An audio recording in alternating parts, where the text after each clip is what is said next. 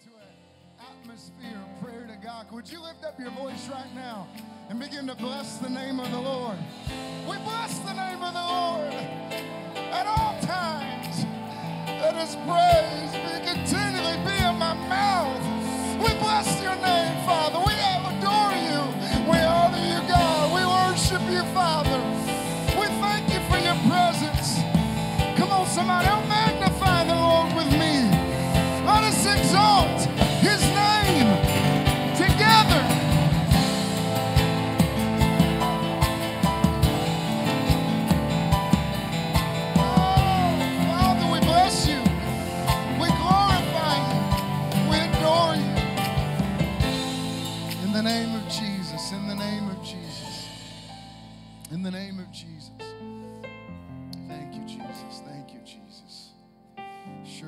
presence of the Lord is in this place. Um, there's a lot going on. Uh, I've heard even in the district this weekend, uh, different events across the state. And um, October is a very significant time in the spirit realm, not to be spooky, but you can look it up on the website, uh, whether it's the Church of Satan or, or paganism. October is a month where there are specific prayer request, if you will. This is well documented in the dark spiritual world. And one of the main prayer requests they pray against is against uh, families, against fathers, against churches. And um, I, I spent some time studying over the last few years, and, and it's a month where there's a lot of spiritual activity against the church, against what we're doing here tonight. And there's an agenda and a, and a thought out in the world that this next generation doesn't want anything to do with God. But I'm so happy to be in the house of the Lord with some people that say, hey, as for me and my house, we're going to serve the Lord. How many know no weapon formed against us shall prosper? The best days of the church are ahead of us. Come on, do you believe that? I believe that the gates of hell will not prevail against the church. And I feel this in my spirit tonight is going to be a spiritually significant night in the lives of many in this room. And as much effort as there has been for some of you not to even make it tonight, I feel that for somebody in this room. There was a, a strategic attempt by the enemy for you not to be here tonight. And the Lord has allowed you to be here. And I don't care if there was two people here or 2,000 people here. I don't believe in coincidence, and I believe that it is the providence of God that's brought us in this house tonight. Come on, would you thank God in advance for what He's gonna do? Come on, would you do it in advance for what He's gonna do? If you could, open your Bibles to Second Timothy, uh, 1 Timothy, I'm sorry, chapter 1, 1 Timothy chapter 1. I do want to give honor. Um, I'm so thankful to be here. Um, Brother Dustin Williams called me last year to be here, and I felt such an anticipation as soon as he did. Um, but I'm so thankful for the new leadership uh, that's been put in place, and uh, it's been fantastic to be around uh, these great men and women of God already this week. Don't you love uh, Brother DeLong? Don't you love Brother Hinkle? Don't you love your leadership? And um, and Brother Cressman, I don't know Brother Cressman very well, but uh, I got to hear, I, I, had to leave. I got to have lunch with my pastor today. He lives in this area.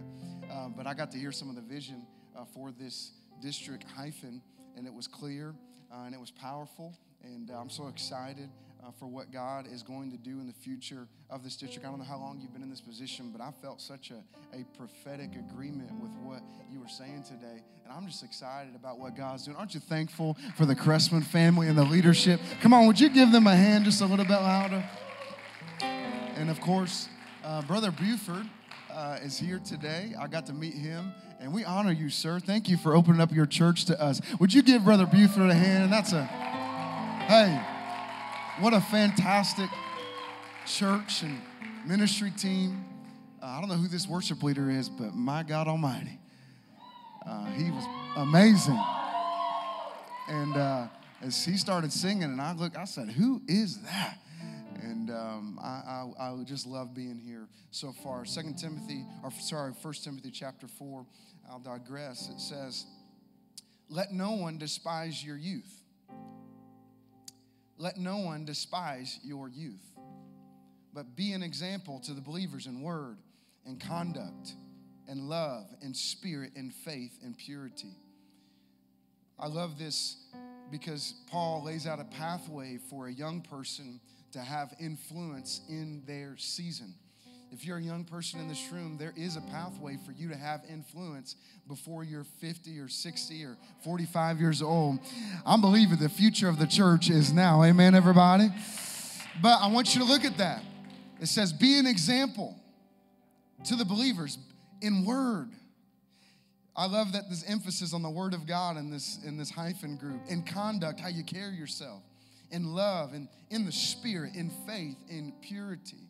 Until I come, give attention to the reading, to the exhortation, to the doctrine.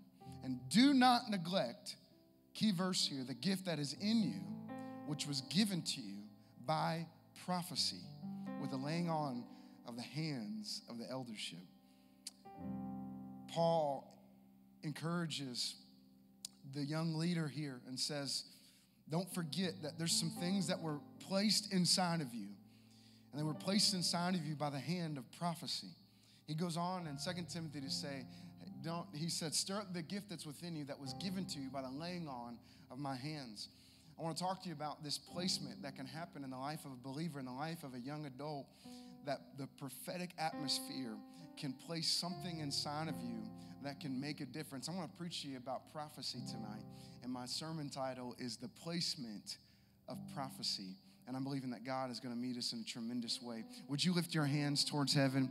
This I, I feel this in my spirit. The Bible says, hear me, hear me, hear me.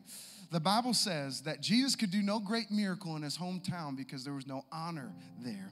Whatever you honor, you will receive from prophecy, the gift of prophecy, the working of miracles, the, the gift of faith, I believe is going to be an operation in this service. But we've got to honor it if we're going to receive from it. Would you honor Jesus right now? Come on, would you lift up your hands and honor Jesus right now and tell him, God, I receive everything that you have for me. I'm believing in faith, God, that you are, you said where two or three were gathered in your name, you would be in the midst. And we claim in Jesus' name that you are in the midst today, able and willing to do what you said you would do. And would you help me and clap your hands towards heaven? Come on, would you clap your hands towards heaven? All right. High five your neighbor, and you may be seated. I'm glad to be here with my new friend, Brother Amani, who got in here from Canada, and he's going to be ministering to us tomorrow. Would you give him a hand? I'm so excited to hear from him. Prophecy is often the currency of transition. Prophecy is often the currency of transition. When God shows up and He's going to shift an atmosphere, He's going to shift a life, a church, He's going to shift a person. Often the spirit of prophecy will begin to show up in that person or in that place or in that atmosphere. Many of us have plans and agendas and things that we uh, like to accomplish and do, and strategies to, to do things even for the Lord or do things in our life and in our future. And often, when we look at growth or we look at the next level uh, on YouTube, there's this whole culture of, of you know, rise and grind culture, and you got to be about your business. And, and, and you would say in the YouTube culture that, that work ethic is the currency of growth. Or, or maybe in the church world, we say that excellence is, the, is kind of the currency of growth and I love uh, churches like this that are done with excellence. And, and I believe that everything should be done in decency and in order. Amen, everybody and, and there's all these narratives that there's different principles, if you will, that are the currency for growth and, and forward momentum in a life of a person or even in the church in the life of a believer. But I often find and have seen anecdotally that when God shows up to move something, to shift something in His plans and His way, the currency that shows up is not just excellence or, or working hard or it's not just a, a, a more effort, but often prophecy prophecy is the principle that begins to show up when God wants to do something new in a place or a person. There's a difference, ladies and gentlemen, between a good plan and a God plan. There's a difference between a good strategy and a God strategy. The Bible says many are the plans of a man, but, but it's God that establishes his path. And I just feel this in the Holy Ghost on this uh, Friday night. It's Friday the 13th, and we're going to give the devil a black eye. Come on, somebody. Amen. But I just feel this in my spirit that there's some people in this room that have had a good plan, a good strategy. You, have worked to have some excellence, some work ethic. You, you've worked to get yourself together. You know how to dress. You, you got the right jacket. You got the right haircut. You know how to do it. And, and you're trying to move some things forward in your life and, and maybe relationships. You're, you're trying to position yourself and place yourself in the right place at the right time around the right people to get the next level of progress that you want. And I just feel this in my spirit today. I feel like God has shown up even at this hyphen conference and I love, I think He loves some of your plans, but I just wanted to say this. I feel like God wants to mess up some of our plans in the name of Jesus. Hey, I believe that God does have a plan for your life. I feel this. There's some people in this room that, that are young adults that feel aimless and directionless, and you don't know how you're going to get from point A to point B to point Z. And, and you've been told and you've been prophesied to, because prophecy is not just something that is used in the supernatural or the positive.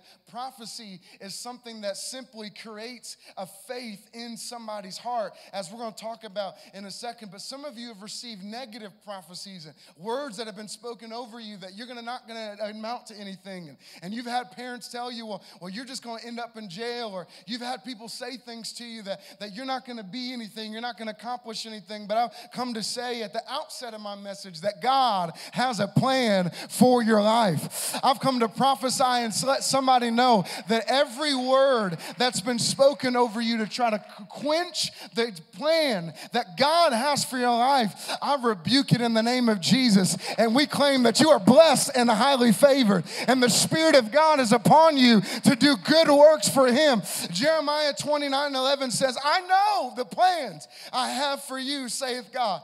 They're for good and not evil to give you an expected end, a future, and a hope. And I feel this. There's a promise that's on somebody's life in this room that you've had negative words spoken over you to make you doubt that there's any significant future. And there's a settling that would like to come into your heart to just settle for mediocrity and settle just to be comfortable and to have a decent life. But I've come to say that it's not the will of God for you just to have a decent life. You've got a destiny. You've got a calling. You've got a capacity in the kingdom that's greater than any word that's ever been spoken. And I just feel this in my spirit. Let God be true and every man a liar. That lie from Satan that says that you can't be great, we rebuke it in Jesus' name and we claim, come on, somebody, that we are favored and blessed by God and He's gonna do something great in your life. If you believe that, would you receive that with a hand clap of praise? And let God know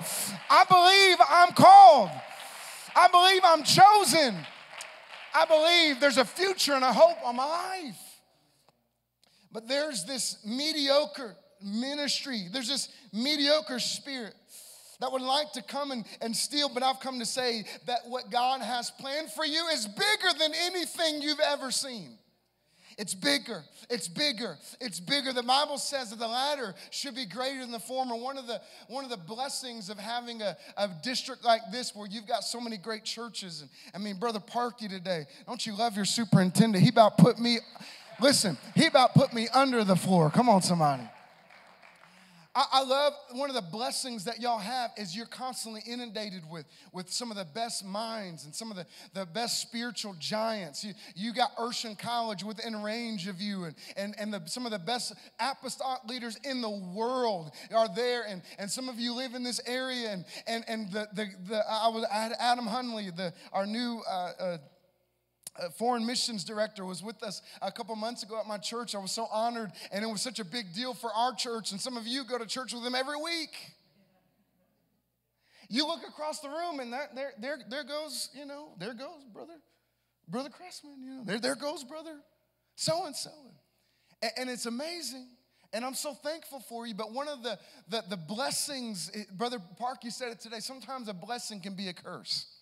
Because the bottom line is, is what happens in an atmosphere like this is you see some of these giants in the faith, and it's so up there and it's so high that, oh, that's just great and, and, and that's just amazing and, and that's something to look up to. But can I just tell you that the Bible says that the latter should be greater than the former? We honor all of our elders. We thank God for all the people that have paved the way for what God's doing in the kingdom now. But the ones that are really great, they don't want us just looking up to them, they want us to get on their shoulders and go to another place. Can I just say it into the atmosphere of this church and this and this service and these young adults? Can I just say it? The greatest churches have yet to be planted.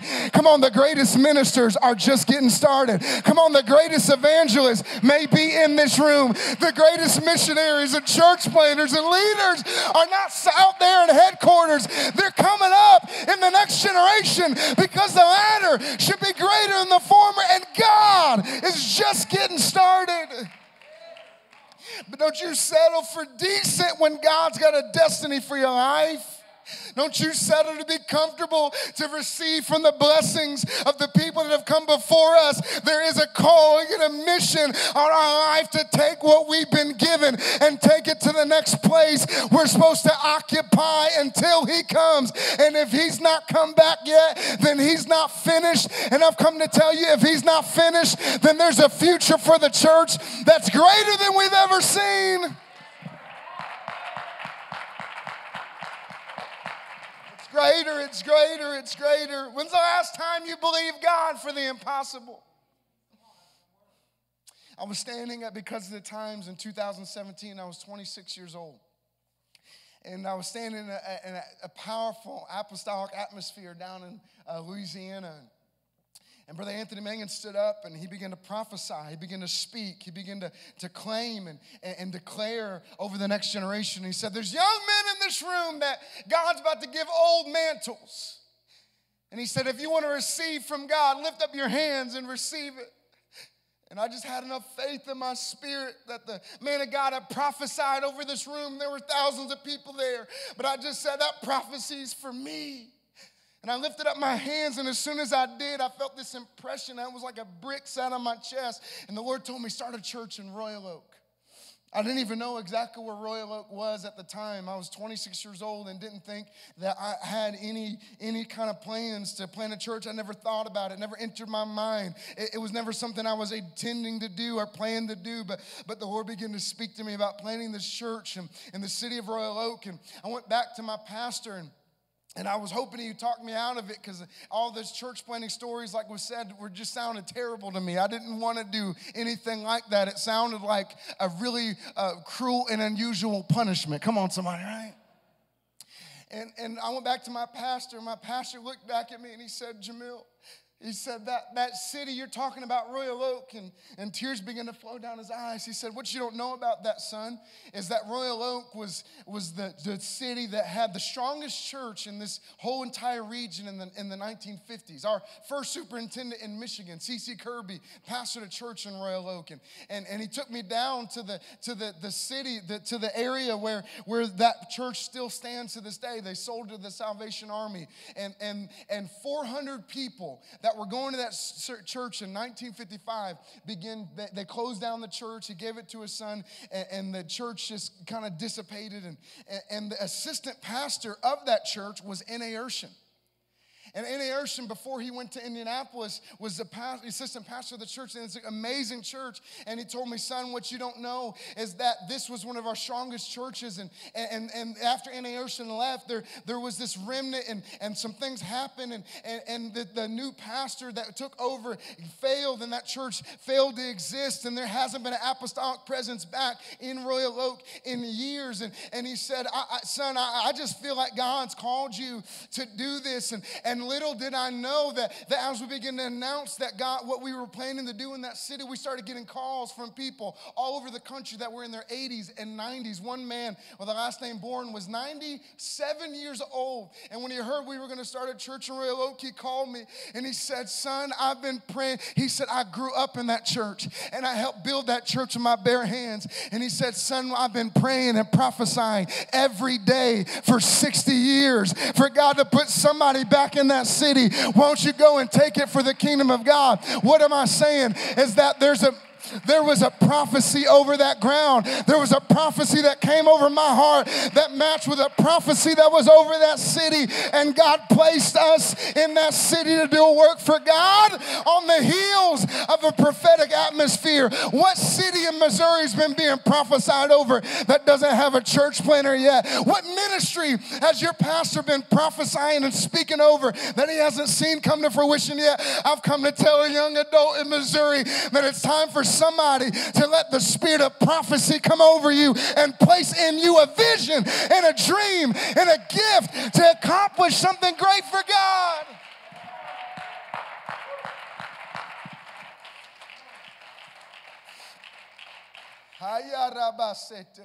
Will somebody lift your hands right now and say, Speak, Lord, your servant's listening.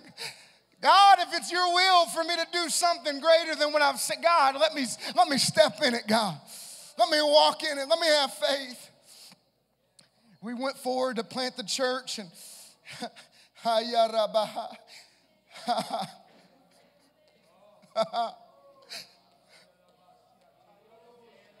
Yoroboso yarabaha. Yorobosi yarabaha. Yeah.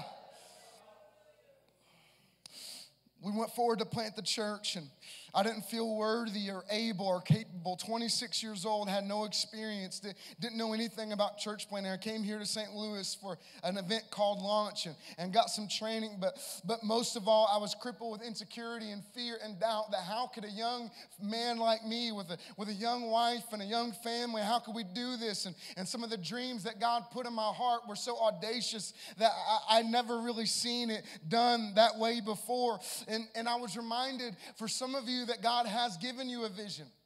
God has given you something that you're believing God for.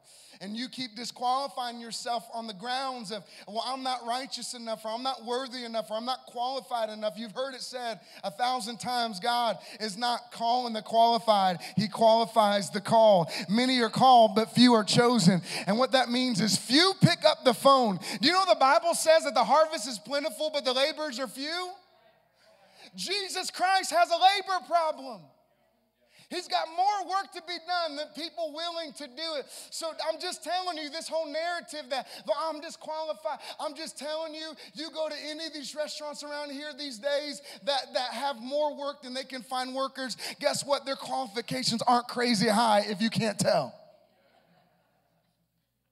The, the, the service at Chick fil A ain't like it used to be. But the reality is not that I'm saying God has some kind of lower standard. He, he calls us up to a higher standard, but He's not waiting for us to get perfect to be in a purpose. He's waiting us for us to say yes to the call, and He'll develop our character. Can I just tell somebody who's waiting to get perfect before you say yes to the call of God? Why don't you say yes and get a vision? Because the Bible says that without vision, the people perish. They cast off restraint. In other words, discipline follows vision. When you get a vision, you'll get the requisite motivation to discipline yourself to follow after. Do you know? I, I don't know what my spiritual life. You, we got some pastors in there. I don't. I'm not sure if I'd be quite as studying the Bible if I didn't have to preach every week. I'm just gonna be honest with you. I think I'd, I think I'd still be living for God. But the reality is, the vision that God's called me to is part of the motivation every morning when I get up to seek the face of God. I'm not just doing it for me, but I'm thinking about those children that are sleeping in the next room that I'm responsible for. And that's my, I'm thinking about that church that's showing up every Sunday needing to hear a word from God. I'm thinking about that single mother who's showing up after going the whole week trying to somehow get her kids out of the grips of a hell and into church. And when I wake up in the morning, I got a vision that I got to get up and seek the face of God because somebody needs to get a word from God. Can I tell somebody, stop waiting to be more disciplined and why don't you ask God for a vision and the vision will give you a greater strength to have the discipline if you'll say yes to God. It's God. Paul said, that works in us both to will and to do for his good pleasure. It's God that will give you the desire. I don't know why I got to stick on it. Was it's God that will give you the desire to do the right thing. He'll give you the desire to, the Bible says that, that God will give us the desires of our hearts. Brother Buford, I don't believe that means He'll give us what, what we want. I believe that often means He'll give us what to want. And if we'll say yes to God and say, God, I, I, am saying yes to you, I promise you, God will begin to give you a different will, a different desire, a different motivation, something that wakes up in the morning and says, I got to do something for Him. But He cannot do that until you say yes to the call. Can I just tell somebody, God's got a plan for your life, God's got a future and a hope for you. And it's time to say yes to the calling, and I promise God will develop your character. The Bible says in Genesis 15 that there was a promise over Abraham's life. And the Bible says that Abraham had a hard time believing the promise that God had given. It seemed so unrealistic. He had promised Abraham that he was going to have this seed that was going to be multiplied like the stars in heaven. And, and at this moment, Dave, or Abraham had no evidence that what God had said would ever come true. But yet, in this moment in Genesis 15, the Bible says that Abraham finally gets over some of that doubt and he believes God. And the Bible says Abraham believed believed God and it was counted unto him as righteousness. I feel a word in my spirit for somebody right now that you are waiting to be righteous, to have revival in your church. I'm telling you, if you'll believe that God can do it, you'll be counted unto you as righteousness. And that word means, check this out, it means it's credited unto him. It's a mathematical term. That the account of righteousness and godliness that he didn't deserve was credited unto him on the grounds of him believing and having faith in the word of God. Can I tell somebody in this room? I don't know why I've got to stick here for just a moment, but you've got all your mathematical equations. There's somebody analytical in this room and you're trying to add it all up and figure it all out how you can get X, Y, and Z and A, B, and C and one, two, and three to get to where God's called you to be. And God's not calling you to add up all the math, He's calling you to have a mustard seed of faith. Because if you'll have some faith at the word of God, if you believe that prophetic word, if you believe what the Bible says is true, if you believe it, the Bible says that the righteousness of God could be credited unto us. The Bible says in the New Testament that he that had no sin became sin so that we could become the righteousness of God. Can I tell you that on your best day, our righteousness is like filthy rags? On my best day, I don't deserve to be used by God. On my best day, I don't deserve to have any anointing on my life. So stop waiting to be perfect and righteous before you say yes to God. Because even if you were doing better with whatever you're dealing with, it's still a filthy rag. And you're nothing but by the grace of God, and you're nothing but by the mercies of God. So why don't you just say yes anyway? Can somebody clap your hands right now as an agreement to the Lord?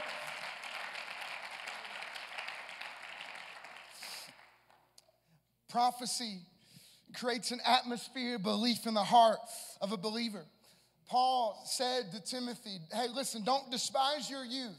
Don't tell me you're too young to do something great for God. I'm living it right now.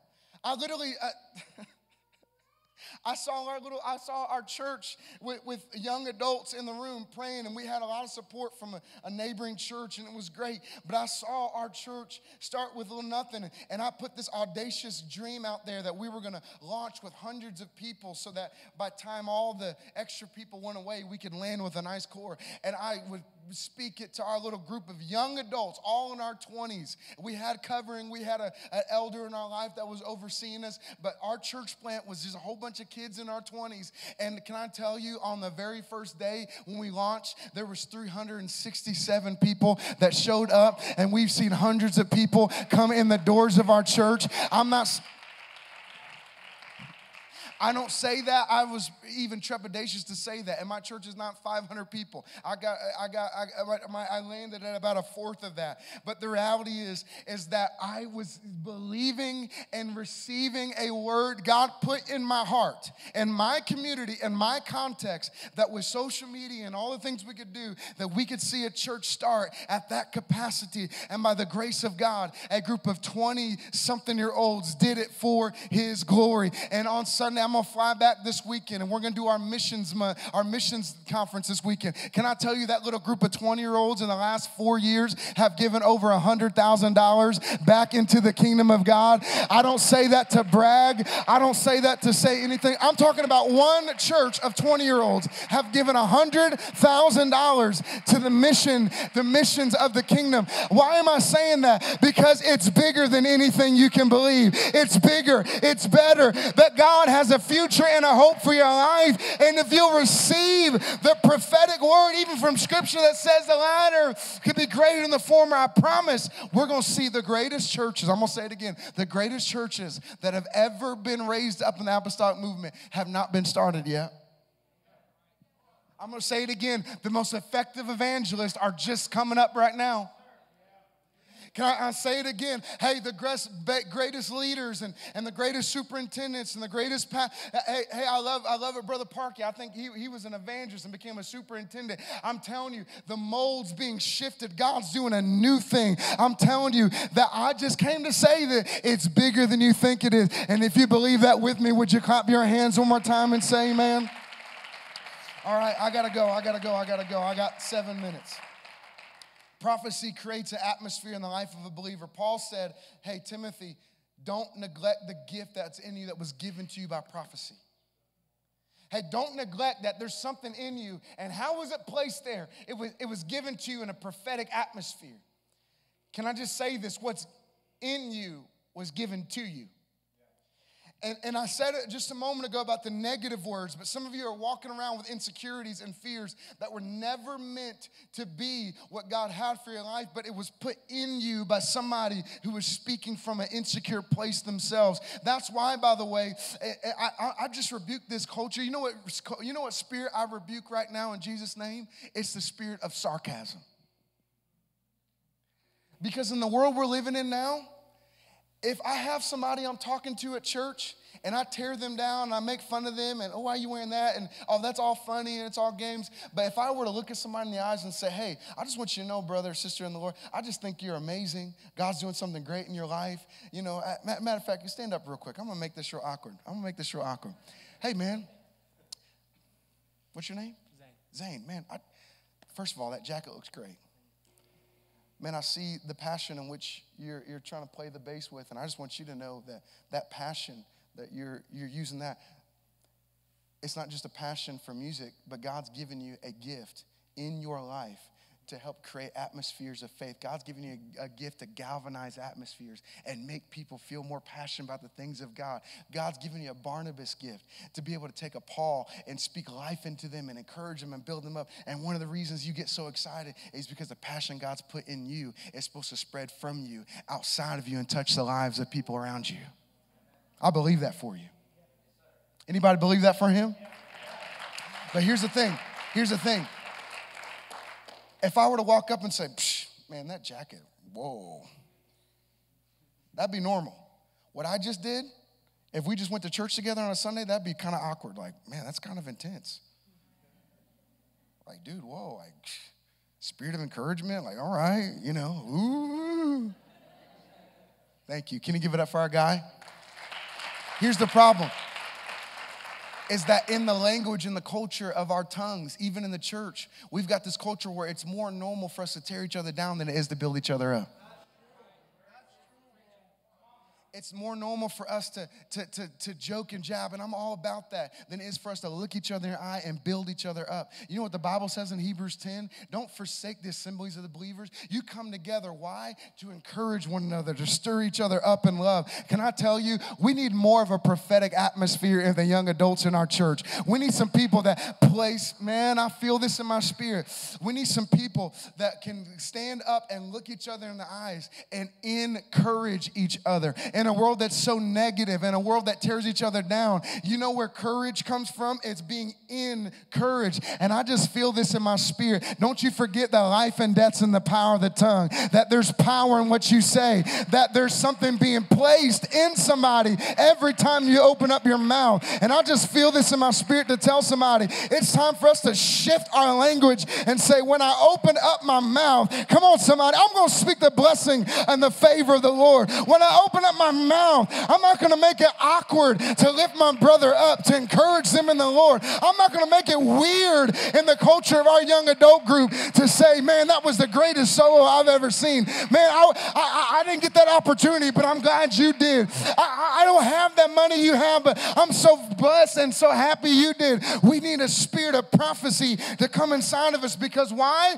What's in you was given to you, and we've got a responsibility to give people prophetic words of encouragement and faith and uplifting. Paul said there's something in you that's needed for the work outside of you, and it was placed there by a word of prophecy. Let it be said of Missouri young adults that we've got a climate and an atmosphere of prophetic ministry, that we speak life and faith and favor over each other. And anybody, man, I'm here. I'm here.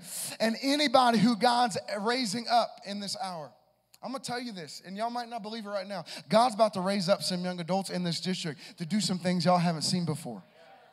I'm telling you, you hear me in the Holy Ghost. God is about to raise up some young adults. They're gonna plant some churches and do some things that have never been seen before.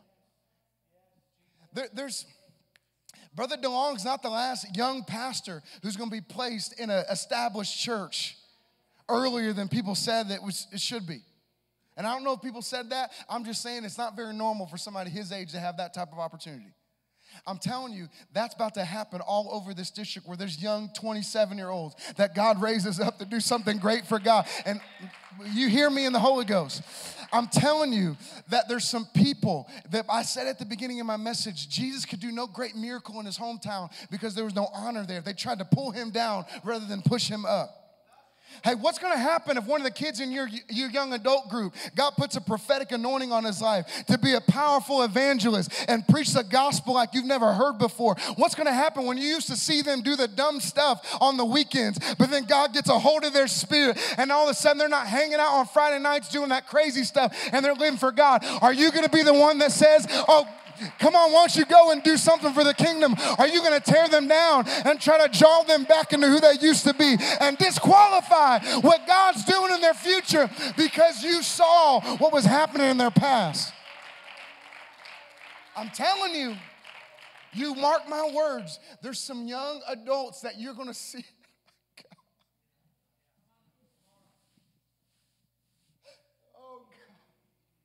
There's some people in, the, in this room that God's about to raise up to do something great for Him.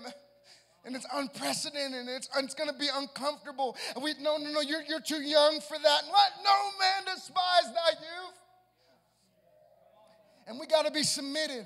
And we got to have Bishop. I had lunch with my pastor today, and I asked him to hit me right between the eyes with some truth. I'm not saying people aren't going to have a pastor, have no oversight, but I am telling you that God is doing a new thing in Missouri. And we got to have a spirit of honor and a spirit of prophecy and a spirit that says, hey, won't you go ahead and let God make you what He's trying to make you? Why don't you go ahead and let God turn you into what He's trying to turn you into? I may not get through it, but there's three things that God told me to tell you about prophecy. Number one, quickly, is prophecy proclaims Christ.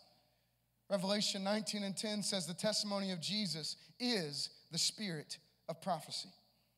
That prophecy is not about being spooky or, or chanting or some weird thing. Prophecy is not some weird fringe thing in the church. The testimony of Jesus is the spirit of prophecy. The, the, prophecy is simply this it's saying what God says, not what you see. Prophecy is, is what that song we sang yesterday shout Jesus on the mountains, Jesus in the streets. Jesus in the darkness over every enemy. Prophecy is simply seeing the darkness in the world or in your family or seeing the darkness. Some of you, I felt this in prayer as I was preparing tonight. There's somebody in this room that's so crippled by loneliness in this season that there's a dark cloud hanging over your room, over your home. You're so lonely and you've, you've, you've begin to think that you're forsaken, not understanding that God's trying to build something in your future. And that, like I said yesterday, prophets are built in caves. And this dark season is not because God's forgotten you, but this dark season is because God's trying to build you. But prophecy is simply looking at these seasons and these dark moments and, and looking at what's happening in Israel and looking at what's happening in the world. And instead of saying what God, what we see, and we begin to proclaim who Jesus is. Can I tell you, I don't care what Hamas does, Jesus is still wonderful. I don't care what's happening in the liberal agenda in this world, Jesus can still counsel. He's still the mighty God, He's still the Prince of Peace, He's still the everlasting everlasting Father. And the Bible tells us that as the world waxes worse and worse, that the grace is going to abound more and more. That the Bible says that the light in, in the beginning was the Word, and the Word was with God, and the Word was God. Same as in the beginning with God. All things were made by Him. And without him was not anything made that was made. The Bible says, in him was light, and the light was the light, the, the, was the life of men. And the light shined in the darkness, and the darkness comprehended it not. Can I tell you that there's an agenda that's trying to let it's let us know as young adults in this hour that the world's getting so dark that we might as well just settle for having church as usual. But the Bible says that the light is going to shine in darkness and it's going to be incomprehensible. Can I just say this to somebody in this room? There's a light that's about to shine through you prophetically that the darkness at your workplace, people aren't even going to know what's happening. They're not going to know why there's such a shift at your workplace. They're not going to know why it used to be so oppressive and depressive when they showed up at work, and now they leave with something feeling encouraged in their spirit. Why? Because I can shine in a dark place, and darkness won't comprehend it. I feel in my spirit so strong to tell somebody the testimony of Jesus is the spirit of prophecy, and the reason we need a prophetic spirit in this hour, it's because it's how we testify and magnify the name of the Lord. Come on, would you clap your hands? Oh, magnify the Lord with me. And let us exalt his name forever. Come play for me. Come play for me. I'm almost done. Number one, that, that, that prophecy is, is how we proclaim Christ. Number two, prophecy is a promise. Look at your neighbor and say, It's a promise. Prophecy is a promise. I, I, don't have time to go here too much, but Numbers chapter 11, the Bible says that in Numbers chapter 11, Moses, that was the Old Testament, he was the Old Testament archetype of prophetic ministry. And the Bible says in Numbers chapter 11 that, that Moses got overwhelmed. Please hear me in the Holy Ghost. Moses got overwhelmed by the burden of his responsibilities. Moses began to grow up in his responsibility in the Lord, and it was overwhelming. I know how it feels. I got, I got four kids. I got a growing church. I, am traveling. I'm doing all this. And there's times in my life and in your life, whatever you got going on, where things get overwhelming. And the world wants us to think that the promise over our life is that we're always going to be overwhelmed and we're always going to be anxious and we're always going to be drowning and we're always going to be stuck like this. But the Bible says in Numbers chapter 11 that Moses looked at God and began to pray and said, God, why have you afflicted me with all this weight. God, my pastor's asking me to do this, and, and I got this ministry responsibility, and I got this job, and I'm trying to date somebody, and I'm trying to do this and that. God, it's too much, Moses said. And God says, I'm going to give the people around you, call some elders together, and I'm going to put the spirit that's on you on them. And the Bible said that they begin to prophesy. They begin to all prophesy. I don't know what it looked like, but they begin to prophesy. And then Eldad and Medad, two men that weren't really in the core group, begin to prophesy. The Bible says even Saul was got around some prophets and began to prophesy. But the Bible says that in verse 29, put it up for me, that Moses looked around after some people came to him and said, Whoa, whoa, whoa, whoa, whoa. These people shouldn't be prophesying. They're, they're too young, they're, they're too inexperienced. They can't do this. And the Bible says that Moses looked back and he looked back at them and he says, I wish that you would all prophesy. Can I come and tell somebody in the Missouri district that prophecy is not relegated to Brother Parkey or your pastor, but it is a promise to a generation that every single person under the sound of my voice has a prophetic unction on their life. Hey, I feel this in my spirit. There's some young women in this room. I've been praying for you. I feel it so strong. There's some young women in this room that there is an anointing on you to prophetically pray and move some things forward in this district and in your church and in your life and in your home. And I want you to know that Moses said, It's a, I want all of you to prophesy. Acts 2 and 17 says, This is that that was spoken by the prophet Joel. He said, I'm going to pour out my spirit on all flesh. I feel this so strong. There's people that are going to come into this district that look different than you, that come from different backgrounds. They're going to get saved in some of these churches, and they're going to be at some of these events. And, and, you, and they didn't grow up in church, and they didn't have the experience. And God is about to pour out His Spirit. Can I say this? I feel this in my spirit. St. Louis is not forsaken. That city is called by God, and there's some people in that city right now that the rest of the world is writing off. And there's about to be a revival in St. Louis that's never been seen before.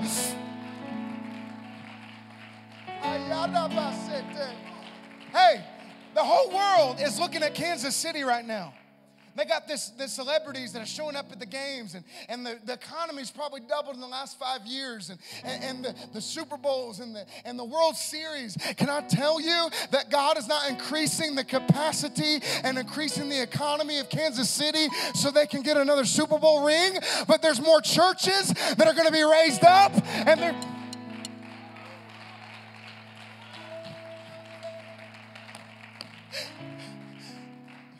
There's athletes that are going to get filled with the Holy Ghost and they're going to preach in those locker rooms. They just had a football player last week to a tongue of Tagovailoa who plays for Miami. he doesn't believe everything we believe, but in a press conference, they didn't push it out on the main news networks, but in a press conference, they asked him about what he's doing. He said, Sometimes I'm on the sideline and I'm not over there. You think I'm chanting. But he looked straight in the camera and said, I'm not chanting, I'm speaking in tongues. Is it too crazy to believe that Patrick Mahomes or or, or, some, some athlete that's in this area or some person that lives next to you that you could never imagine could get filled with the Holy Ghost and stand in, stand in front of a camera and begin to preach the gospel to more people in one press conference than we've reached in the last year in this entire district. Can I tell you that God is about to do a new work in Missouri? He said, I'm going to pour out your, my spirit on all flesh, and your sons and your daughters are going to prophesy.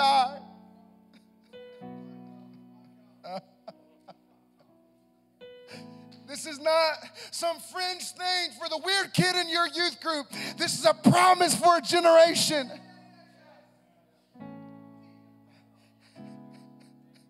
That the sons and daughters are going to prophesy and proclaim the excellencies of Almighty God and stare in the face of Satan and all his agenda and declare that we are going to win this world, that we're going to occupy until he comes, that Jesus is still on the throne.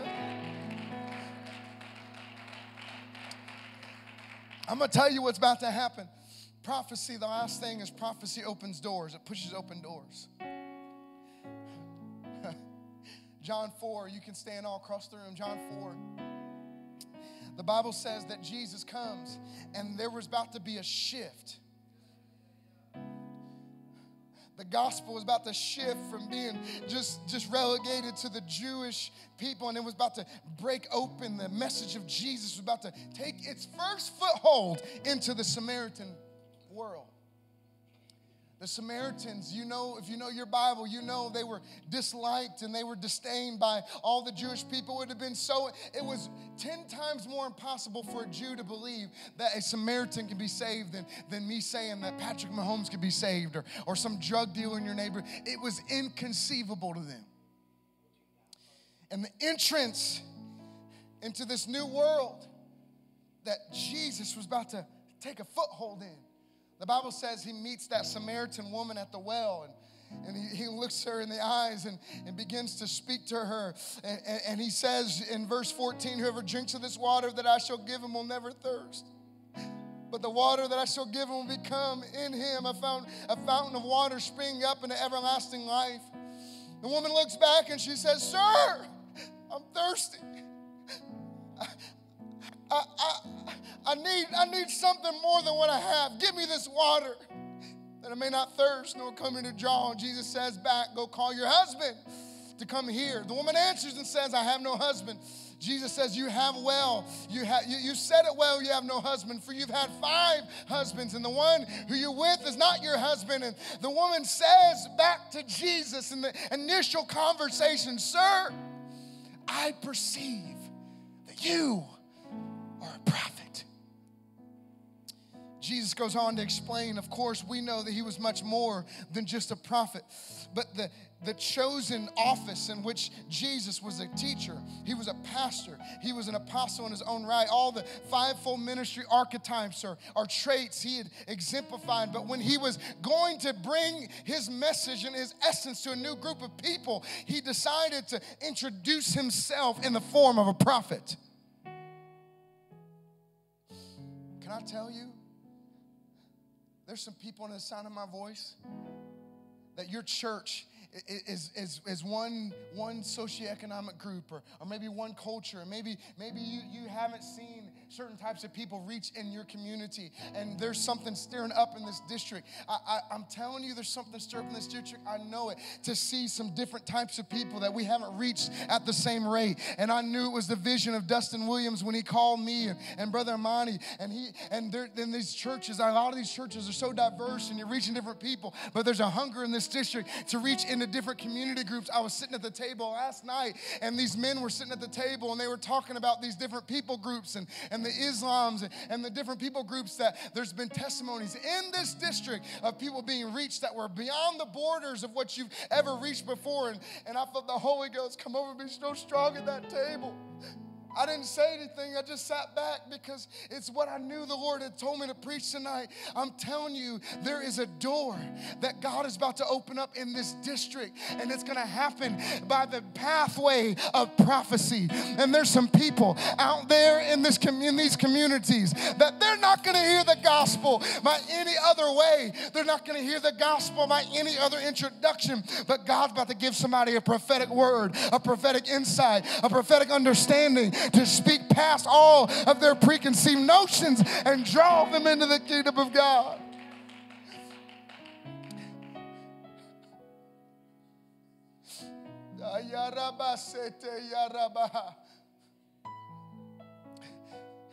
It was 2019, and in my church, we just went autonomous, and, and, and, and I was scared to death my church didn't know it, but but we had we had become autonomous. I was a full-time pastor. We didn't have too much money in the bank. I, I was so worried how are we were going to move forward. God, I'm only 27 years old, and, and and there's these all these people showing up every week, and and I've never done this before. God, I don't know what to do. And God connected me in my community to a, a business owner, one of the most well respected business owners in my whole community and I, I met him in his store. And, and I just happened to ask him to go out to dinner one night. And I wasn't going to ask him for any money. I, that wasn't my intention. It was totally disconnected, but it just, as I reflect back, it was the same time period. And he's an Indian, he's an Indian man, him and his wife, uh, an Indian man. And, and the night before we met him and his wife for dinner, I had this dream. It was so vivid. I saw him and his wife holding a little baby boy. And, and I, I, I didn't know if they had kids. I, I never asked them that. And, and we showed up that night for dinner, and, and I looked at them after the dinner. We just had a good time. I wasn't trying to pressure them. They'd never been to our church, they'd never been to an apostolic church, they had no connection. And I said, I said, y'all, well, y'all know I'm, a, I'm not trying to be weird, but y'all know I'm a pastor. Is there anything that uh, I could pray for you about? And hot tears began to flow down his wife's face she said, I'm 40 and we've been trying for 10 years to have a baby. If you just could pray.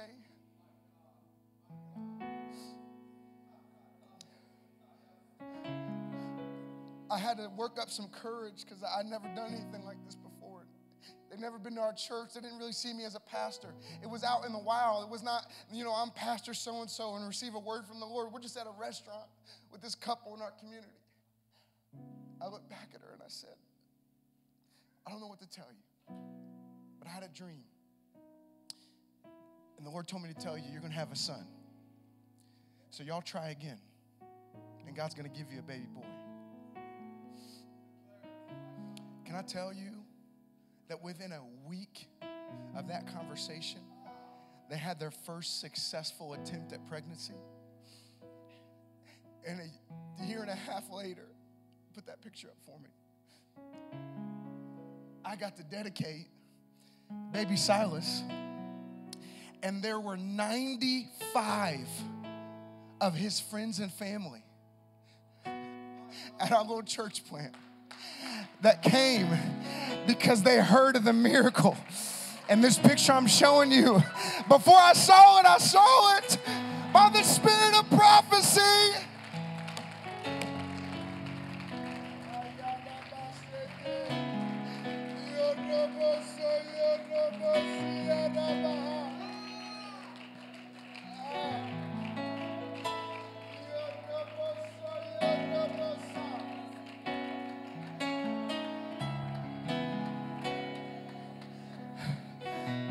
Don't know what to tell you, but there's a prophetic unction that's in this room right now. God is about to pour out visions and dreams and insight and understanding. If you need something from God, if you have something in you that's drawing you to a greater place, I want you to run to this altar and say, God, why don't you place in me what I need for the future of my calling and put it in me?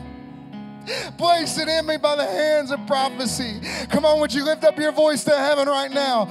Come on, I need a I need a lady that knows how to pray to begin to travail. Come on, I prophesy over you right now that you are a mother of Zion, that you are a woman of Zion. You may not be a mother in the natural, but you are a mother in the spirit. Why don't you go ahead and burst something right now?